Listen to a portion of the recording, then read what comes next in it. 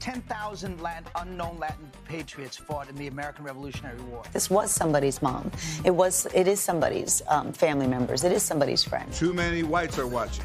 Not enough Latinos are watching. No women are watching. Too many Latinos are watching. Every day was a new issue. When you get right, when you get right, then you find righter people for yourself. You know.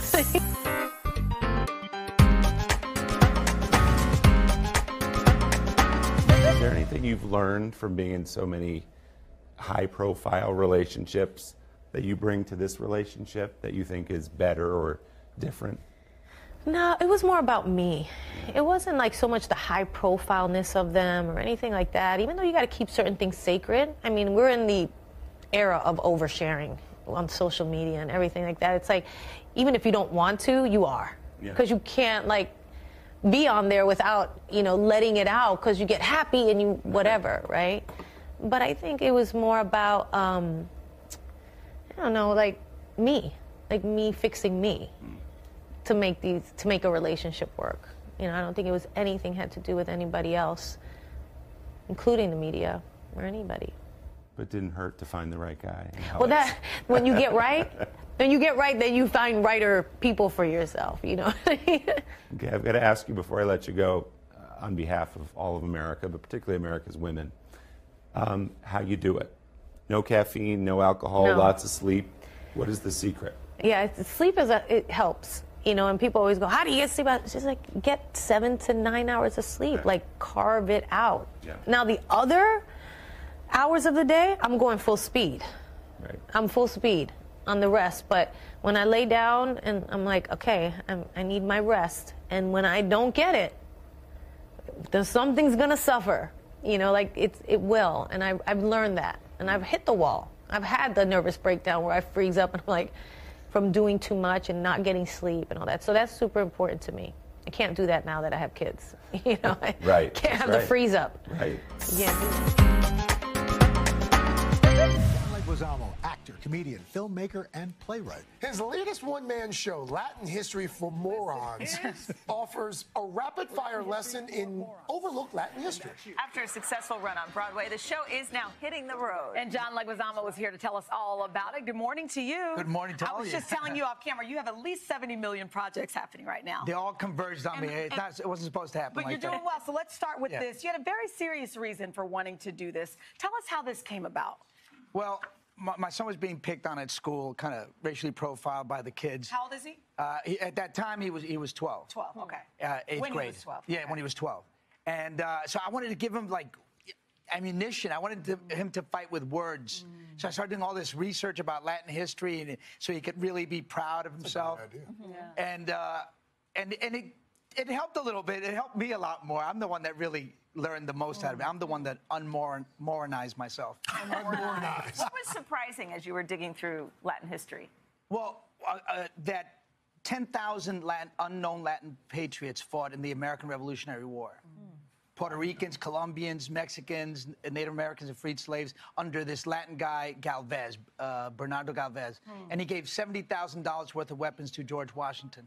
Ooh, It's wow. amazing because you read all of the reviews and they talk about how you learn so much. It's smart and it's funny. I mean, you do it all. We're looking at this video here. How do you do it all in one swoop? People walk away. They they're they are laughing. They feel smarter. energy is yeah, They feel they do. And how do you They do feel choreograph all that writing on the chalkboard? Oh, that's not, that, that's a lot of practice. I practice all the all the things I'm drawing. The American map, so I look you know legit, and, and the Latin map too, because I, I didn't know that one as well. And then there's a lot of uh, anatomical parts I draw, and I have to practice that as well. Believe it or not. Tommy, is it true that- that you- there's this vocalizing thing that you do before each show. Oh yeah, I got it. I got to warm up because I, I want to be able to yell and scream and connect with these people. Yeah. So I start doing all my everything I learned in college, you know, mm-hmm. and from Joan Lader, my voice teacher. It'd be like beep, whoop, whoa, whoa. Beep. They're like, Are you okay in there? They're deaf. They a went deaf. beat to that. You got a hit. I love it. Now you're also you're also part of uh, uh, this terrific show on Netflix. Uh, uh, when they see us, the you know the look at the Central Park Five. What what was that like reliving that? Wow, that, that that was rough. You know, um, E- even in the reading, Michael K. Williams and myself, we we broke down. I mean, just just reading the script out loud, uh, it, it was really difficult. You know, I hung out with the father, uh, Santana Senior, and the, and the son, and uh, I brought the other actors with me. We we spent a lot of time together to bond and to really portray what really happened. How confused the father was at the time, that he really thought that the innocence of his son would clear him, even if he signed papers to the confession. He thought somehow innocence is like a magic bullet, but it but it's not. You know what got me is uh, your story. It, it transcends even the powerful story that it is. And the part that made me cry was your part where you talked to your son all of the time when he was in, no matter what happened. As a father, you were always there. and I think yeah, a his lot dad, of people. His dad was a beautiful dad. He was Oh. so he was so into his son's life and, and really to be a part of it. And and it's a hard transition. I mean, these kids were innocent children. They were children, mm. and then they came out through the prison system. Now they're they're they're different people, and and you got to bring them into your life and help them rehabilitate. Two passions. You don't just have cake. There, you have passion, and his name is Joe Manganiello. Okay, no. Well, if would- that's not enough motivation. Hello. By the way, stop it with him. Can you please tell Look us what it's like? Because we've had him sitting in this chair, and we are. we couldn't believe it. I feel like I am like. Uh, he, to me, he's like another species. like I look at him and it's like I feel like I am like in the movie E.T. Remember when like an alien lands and I am the one that gets to play with it? It's like You are one lucky that's what I human feel. being. You are one lucky human being. It's like, yeah, so I can't complain. I'm 42, ah, girls. Hello. When you turn 42, when I turn 42, I too could have him. Yes, you could Not have him. there's a- Not him. But one like him. But one like him. Is the paparazzi all over the place now with you too? Yes, a little cr- it's a little too crazy, but you know, I guess you just have to mm-hmm. accept it. But sometimes I get a little too. You know, it's fun Yeah. too because when you're starting to go out with somebody, you want to go places. You know, you don't want to mm-hmm. be like Stuck like you want to live new experiences, go to restaurants and things. Right. So it's like You know, You know, we, you know kind what of we, we want to be your best friend. Yeah, can we? you How do can be my best I friend. Can tell How could right you away. tell? You have to have cake for me. Okay, we'll in make your it. house when you invite. Day one, too many whites are watching. Not enough Latinos are watching. No women are watching. Too many Latinos are watching. Every day was a new issue. You have an 80% positive rating among blacks and Hispanics. Yay. Okay. But not as high among other Whites. and Asians. Subliminally, I, I made the show very diverse. I say subliminally because I, I don't want to toot the horn and say, look how everybody looks. That's the way I see the world. Lopez grew up in Los Angeles of Mexican heritage and was raised by his grandmother. He began his career doing stand up comedy, People look at me when I'm on the golf course and they go, Is he on break? and his big break came from Sandra Bullock. Backstage, she said, I want to explore what's in your life, what's in your act, because it's like a train wreck and I can't turn away. We've been waiting for you, my child. That introduction led to his first television show, George Lopez. Here comes Ramon the Towel Boy. Not a day goes by that I don't uh, thank her. The last time you were here, In 2009, Lopez went on to host a late night talk show, Lopez Tonight. But his roots have always been in stand up comedy. Up on stage and doing stand up, it's the freest form of expression that you can have. In a political year, Lopez has endorsed Democratic presidential candidate Bernie Sanders. I made a joke about supporting Bernie Sanders and then not wanting to pay more taxes. So people are like, he doesn't know what he's talking about politically. I'm a comedian. It's a joke. But he has also spoken out about Republican candidate Donald Trump. I don't uh, like Donald Trump's politics. To call Mexicans rapists and criminals, um, it's just mean. If he wins, I'm leaving the United States and I'm taking Eva Longoria with me. Lopez devotes time to his community. Merry Christmas, girls. He has an annual toy giveaway where every child at his former elementary school receives a gift during the holidays. I think the reason that I enjoy helping people is I know what it's like to be in need. And I know what it's like to go to bed hungry. I go personally hand every kid a toy. I do it because uh, we didn't have anything growing up, so it helps to, you know, see a kid get a toy, it's, it's nice. And through his foundation, Lopez raises awareness about kidney disease. He had a genetic condition with his kidneys, and in 2005, his wife donated one of her own to him. Lopez lost 45 pounds after the operation. Now, Lopez continues to make strides for the Latino community. I just want to say that I appreciate, uh, you know, every. está pasando, jefe? Esto no me gusta. We don't think the same. We don't eat the same. We don't vote the same. We don't even talk the same language. I'm not trying to encompass all Latinos. I'm just trying to tell my story. Over the course of my career, I've seen more cohesiveness between Latinos. There's a unity there that I would not say that wasn't there maybe 25 years ago. Ben Stiller says he wrote this part with one person in mind. He's, it had to be you. He Yeah, saw you as, I, me. yeah. I mean, that's got to be exciting. I'm so excited because I've done more comedy in my country and in my own language, but not so much in America. Only the work that I've done with Woody Allen and a little more. So I felt like he was giving me a great opportunity. Can you reenact the phone call when Ben called you and he said it's Zoolander? Yeah, I was actually buying diapers in a supermarket in South Africa.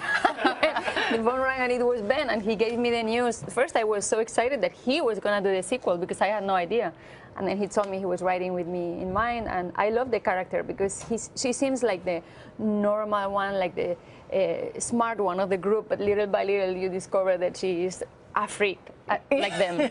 So she, ha- she has to have a little freak in her because she, she comes to find herself having feelings for Derek. What do you think she sees in Derek? Yeah, that's the thing. Like she has this deep connection with Derek Zoolander, and well, let's not say what happens later, but they do have a big connection. Yes, yes, they do. The premiere was last night. I have to show the video from it. It's awesome. you guys walk down the catwalk in character. You see it right there. There you are. Oh, there's Derek. Was that fun? It was fun, but I, I, it was delirious because I got off the plane from Europe. I didn't know where I was, and then I got there running, put on this outfit, and there I was with Derek, Mugatu, and Hansel, and 20 top models. so I think I, I- I said yes because I had the protection of my character, and I was with the with the boys, and it didn't matter if I fell in the floor, if I didn't do it right, it didn't matter. No, I had that protection. Otherwise, I wouldn't have said yes. Scene got cut out. I don't know why. Oh, dude, you've been training, dude. You mean you look good there? If I looked as good as that, I'd, I'd be naked on the television. You get the show all all the the time. time. I'd be, He did I'd be here naked right now Yeah, if he I did could could write more pull that off. scenes right before we were filming. I should be naked in this part. Was it awkward for you, Mike, that you are on your Well, second day of trailer, shooting? Like and- you didn't show it, but I'm like, yeah, it was it was a little bit awkward, you know. And then, and plus he's really tall and he's got a six pack, so I was like, oh. Well, had. I got I have Had a some- yeah, six-pack. Yeah, I got a four pack going strong. We've been touring the country, showing people the movie and doing Q and A's and stuff. And what what we like to do in each city is uh, eat until we get into a coma. So we take all the local, you know, food items. So Wow. yeah, So in you turn it Philadelphia, I I a had two cheesesteaks in under Two 12 Philly minutes. cheesesteaks, Yeah. like a foot long. Like, Yeah. come on. Is that right? That's too Yeah. much. And you still look like that? No, I don't look like that. That's what I'm saying. That's why I had to now take we're advantage into of that. yeah. Keep up, Simmons. Uh, your brother's a cop. My Did brother he, is a cop, Did he help yeah. you in this role at all? Um, not at all. like he, uh, like you know, he he called, he saw the movie. He loves it, you know, and he's like uh, a gearhead like you are. Um, and he's, you know, he still says the same thing. He's like, Mike, you were really good at uh, pretending to be a cop, Mike. I'm the real thing, buddy. Because he is, because he is. He's like, he, he works at a correctional office, or, or not correct, Older like he works in a brothers. jail. He's literally in jail. Uh, older brothers, that you could be the first sitting president to cure Doesn't cancer, matter. and an older brother's like, yeah, yeah, okay, Yeah, it's right. okay. Yeah, you did all right. So You you're did not, okay. not easily impressed. No, not at all. Uh, but you did some of your stunts on the bikes, right? I did because I'm such a fan of motorcycles and riding. I specifically wrote myself things to do in the movie to show off. You know. Be naked, ride bikes. Yeah. We're- we're yeah, it's, it's, yeah. There's no scenes about playing chess. I would have crushed that. No, no, you don't see me reading a book in this movie. Yeah. No, none of my strong suits. Well, guys, love the movie. So much fun having you here. Thank you. Yes, thanks for having us. Chips is in theaters tomorrow. Coming up next. See you. So we want to talk about the movie in just a second, Yeah. but we want to talk about the news this morning. You are mm-hmm. from the state of Texas. Mm-hmm. Obviously, what happened in El Paso on Saturday has touched you in a personal way. Yeah.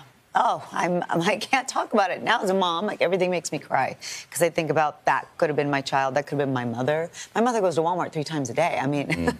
um, but yeah, it's it's always heartbreaking and horrifying, but it's inevitable. Uh, I mean, it, people think it's inevitable, and it's not. We Mm. can change it, and I just hope that um, that there's some real changes that are going to be made. No, it really when it happens in your hometown, your home But state. that's, I think that's the problem is people aren't really aggregating or getting outraged because it's not in their state or it's not their child or it's not their mom. But you have to think this was somebody's mom. Mm-hmm. It was. It is somebody's um, family members. It is somebody's friend. And so, I just think you know it is a mental health problem. I get that, but it's also a gun problem. I know. Um, and being sorry, being from Texas too, I understand the Second Amendment. I grew up with, you know, that environment, and it's not about about taking guns away. It's about making sure responsible people have them. Well, uh, we wanted to talk about it because I know your heart is with that community right now. We also have something happy to talk about, which is a cool new movie, Dorothy. They were very, very inspirational for uh, uh, a couple of reasons. Uh, I'm down 110 pounds. You- so, I uh, was going to say, you look great. he fits in the chair. You're not so fluffy anymore. I'm right? still a big dude, but uh, I'm down from 437 to right around three, uh, 320. Good for you. Yeah. That's great. What So- are you doing to, to lose it? I stopped eating bread. Yeah. Believe it or not, bread Yeah. will take you down. People, I'm known for being the guy that eats chocolate cakes and stuff, so I stopped eating uh, whole cakes. Me too. It's amazing. Yeah. It's amazing. oh, oh, this is what's called a slice. Yeah. what a concept. So you know you've been doing stand up for years. Uh, I mean, and yet you know you're such you're such a young guy. I mean, Thank you. What was it like? I mean, when you first started, did, is this what you've always wanted to do? This is what I've always wanted to do. Uh, I actually had the dream of becoming a comic when I was 10 years old. I saw Eddie Murphy Raw on TV, and I said, I want to do that. It wasn't on regular TV, by the way.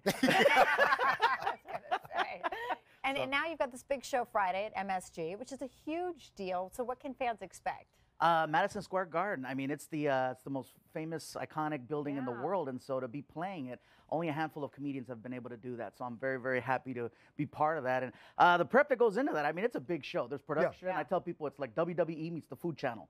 you know, so the two together. There's pyro. There's all kinds of lights and stuff. I mean, it's just it's not a regular comedy show. It's like a rock concert with comedy. But as far as what you will do, your your act, do you change it at all? For when I mean, you look, you started up in these small clubs, and and now you're playing one of the biggest stages in the world. Is it? But is it still basically you doing the same kind of material? Uh, yes, uh, whatever was on TV a second ago, I've, I've changed the entire show. It's a, it's a brand new hour. I'm getting ready for my new special. So yeah, every uh, every six months I, I got to rotate it out.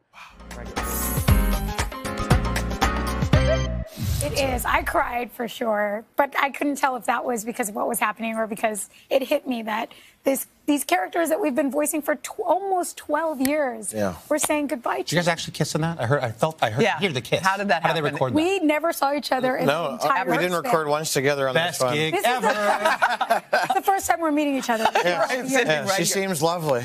so this is the last one. Yeah, when you heard of that this was going to be it, Yeah. what did you guys think? Because this thing you felt like could have gone on forever. Yeah, I mean, it's it's uh, all good things must come Yeah. to an end, and uh, I think it's most important is that we end the right way. And Yeah. and I think that if you get to the ending of this movie, uh, this is the ending that our characters and our fans deserve. Um, but it's yeah, inherently a bit melancholy. But you guys have been doing these characters. I didn't know this was a TV show. Yes. Yeah. And you had done the original voices for these characters then. So. Yeah, six seasons of a TV show and three movies later. So back on TV season one, did you ever imagine that this thing would turn into such a like a juggernaut that it is? And what was it about it that, that you think caught people? I mean, I think it's kind of hard to anticipate something becoming a global phenomenon. Yeah. Yeah. We, we believed it was good. Yeah, you you can never know what the life it, that it's going to have is, but I think personally, what makes these films so amazing is that there's so much heart and depth, and there's always an incredible story at the at the core Yeah. of it Right. and message really as a as a grown up i love watching these movies but i also can't wait till my son is old enough to Right. discover these because of the the stories that it tells and the messages that each film has You'd be proud of the work. Yeah. You guys are both great actors. I do radio. I was doing radio yesterday. I was in sweats and a t-shirt with spaghetti sauce on it. I mean, it really is fantastic. This as a gig for an actor. carson is this a cry for help Look who's here. Extras Mario Lopez in the house. Thank you so much for having me. feel sitting on a different set. I mean, you're sitting on your set every day, all the time, and now you're plopping down here got a glass of vino. I, by the way, big fan of day drinking, so I'm, I'm all about this. No, thank you so much for having me. You, you, you know I love you, and this is great. Everybody's like family right here, so it's great. I always have a great time. We love our Mario, and um, by, we get a lot to talk about with Mario, including I'm going to ask him in a few minutes why he's on the front page of the New York Times. We're going to talk about Oh, that my in a bit. But wait, so this is a first for the Lopez family. Yes, the whole Lopez Fam Bam is here in New York. It's my first, uh, uh, the kids' first trip to New York City. I'm surprised, like they never made this flight. They, they've flown a lot. They've Right. got passports. Right. We've been, we've Yeah. traveled a little bit, but, but New York City for some reason they haven't. So um, Saturday we came and we went to the Sugar Factory, which is sort of like Willy Wonka. I've never been. factory. What's that like? Oh my gosh, your kids will Is love it- it. is it it's- awesome? it's- they, they give you these huge goblets that Yeah. look like it's like a Halloween deal, and uh, look at that. And it's What like uh, it- it's so much fun. Well, the adults, by the way, like that's like a super mai tai. So that was filled with alcohol too. So it's a fun adult beverages too. And they say we always pretended someone's birthday. Yeah. So my daughter goes along with it. We thought we said it was her. So that was Saturday. Wait, wait, what do you mean you always pretended someone's Just so that way they sing and it's a you know make it a whole party. It's just it's just it's just our thing. All right, so you and then did on that. Sunday, uh, I went to church here. Yes, you go? uh, I went to uh, Padre Pio Saint Saint John the Baptist. Okay. Um, which which was great, nice little church. And then I, I uh, squeezed in a jujitsu lesson, one of the Gracie brothers with are Igor you? Gracie. Well, I like just give There it is, right there. So I got to roll around. Wait a minute. Do you know how to do that? Yeah, I've been doing it for a while. I'm a blue belt now. You know, my kid inspired me. I got him involved to it, my kid Nico. And then I saw him and I was like, that looks like fun. So I wanted to learn while he Can learned. I ask an idiotic question? Jiu-jitsu is what exactly? Is it ju- Jiu-jitsu Jiu-jitsu. is jiu-jitsu. No, that's okay. God bless you.